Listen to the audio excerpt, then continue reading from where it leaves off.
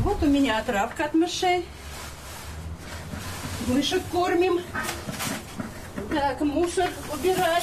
Работа Татьяны Букреевой в прямом смысле грязная. Она вычищает мусоропроводы. Каждое утро вывозит из многоэтажек по несколько тележек бытовых отходов. И так уже 30 лет. О смене профессии даже не думала. Ее работа необходима людям. Все бывает, и грязь, и засоры бывают, забивают, пробиваю, хожу палкою. Стараемся, убираем, моем. Убираю каждый день. Убирает она добросовестно. Чисто у нас всегда во дворе и везде. Замечаний никаких нет. Мы довольны ей. Дворники, водители мусоровозов, слесари, сантехники, электрики. От их труда тяжелого и сложного зависит комфорт каждого из нас. Жилищно-коммунальное хозяйство Липецкой области – это более 200 тысяч жилых домов, более 2000 километров теплотрасс, столько же объектов водоснабжения и водоотведения, почти 10 тысяч электрических подстанций. Сегодня Липецкая область одна из э, наиболее насыщенных э, коммуникациями и услугами ЖКХ.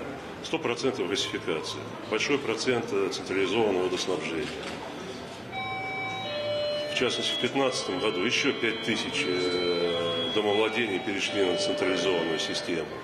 Это, конечно, организованный оборот э, бытовых отходов. Это программы по переселению из ветхого жилья. Это капитальный ремонт. Вопрос аварийного и ветхого жилья для области был больным 7 лет назад. С того момента отремонтировали почти 1700 многоквартирных домов. Переселили в новое жилье около 9 тысяч жителей. Практически завершена работа по централизации региональной системы водоснабжения и водоотведения. Сегодня водопроводом пользуется более 95% населения. Одновременно идет работа по обеспечению жителей области качественной питьевой водой. Она поступает в дома полностью из скважин.